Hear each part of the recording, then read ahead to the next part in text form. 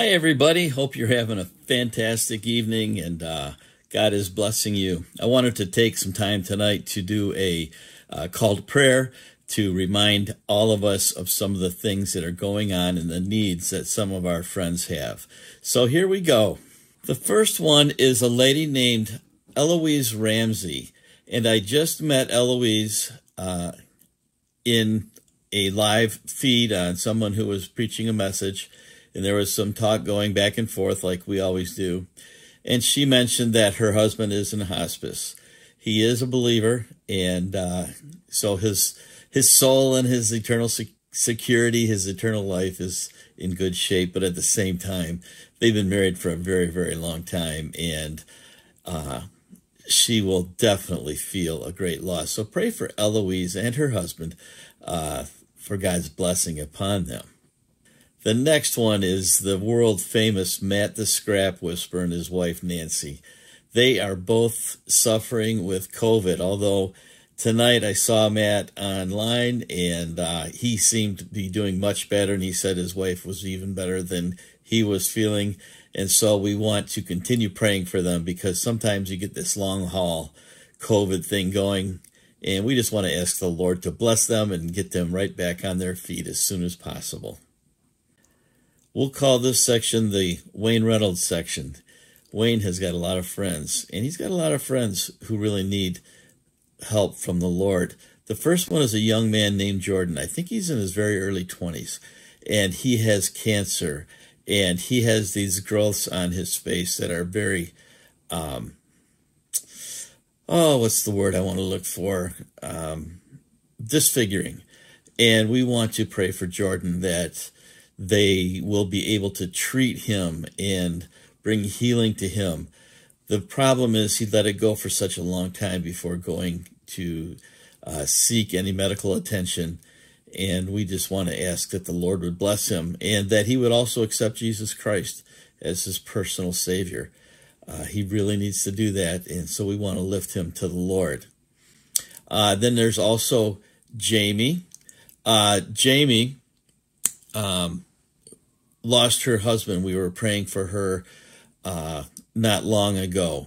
And Kenny was his name. And we're praying for Jamie not only for the loss of her husband, but she has two sons who are also struggling. One has cancer, unfortunately, and the other one is just having some of life's complications going on.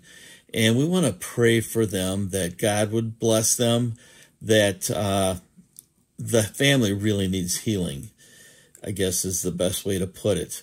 So we want to ask our Savior Jesus Christ to intervene and help them with all that they're going through. And Wayne's other request was for a neighbor down the street. His name is Tommy. He's 53 years old. Uh, he has cancer and he's also had a stroke. So he's uh, in, in rough shape and really needs our prayers. Not sure what else is going on with him. I don't know if he's saved uh, or anything like that, but we do know that he needs God's help in his life, just like we all do we want to continue praying for Joey. Um, as you may recall, Joey's wife, Lisa, his former wife, Lisa, has been missing for more than two months now. And um, there's certainly a lot of concern on Joey's part and also his two daughters. I'm sure they're just feeling lost without knowing the situation with their mom. So I want to ask that we uh, pray that wherever Lisa is, she will be found, and that God will help them and give them peace with whatever the situation is. Uh, we just don't know. We don't want to try to guess. We just want to trust God and ask Him to be their strength and their help. Another gentleman that I had met at um, the uh, Resurrectors reunion car show uh, at Outlaw Edge with Arco and Heidi uh, his name is John. Uh, he has a channel called John Boy's Garage, and he is waiting for a heart transplant. I mentioned in an earlier one, they're thinking that it will probably take until next July. So that's almost a year from now. So we want to ask the Lord to bless him, keep him healthy. He he seemed really good when I was able to talk with him at the car show, and I just want to ask you all to pray for him and uh, for his health, for his spiritual well being, being, and um, just that the Lord will watch over him. I also want to ask you to pray for our brother Tim, Tim Windsor. Uh, he's got some terrible car problems going on, and he really needs to get those things resolved. So I want to ask you to pray for Tim that he will be able to get those things done, and the Lord would be his helper, and that he would um, be able to get through this time of it's a kind of a struggle. And also, if you talk to our dear brother Tim Windsor, this Friday will be his 62nd birthday. And uh, so be sure to reach out and wish Tim a happy birthday this week. And uh, the last one I want to bring to you is my cousin Diana. I did mention her in a request some time ago, uh, a week or so ago, I guess it was. And uh, Debbie and I took church to her uh, in her hospital room. She's still in intensive care. Uh, she will be for some time. Today they were supposed to have done a pacemaker, and I think that's done, but I haven't been able to get any news on her since then. Um, before that, last week, you know, I I don't know if I explained it all, but she took a fall and uh, had a lot of uh, back and neck uh, damage done. They had to fuse 15 different joints in her back and neck. That's major surgery.